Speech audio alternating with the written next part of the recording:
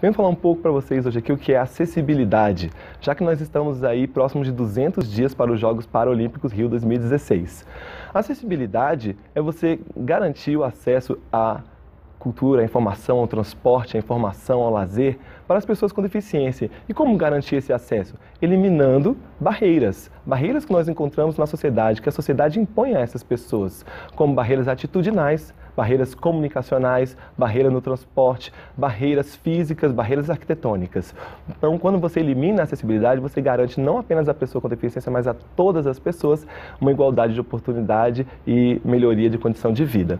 É, o governo tem trabalhado, por exemplo, nos aeroportos para garantia de acessibilidade é, com simulados, com vistorias feitas em aeroportos para é, buscar uma melhoria na infraestrutura do aeroporto, com vistorias de, de itens que recursos de acessibilidade contidos nas leis, na legislação, nas normas brasileiras.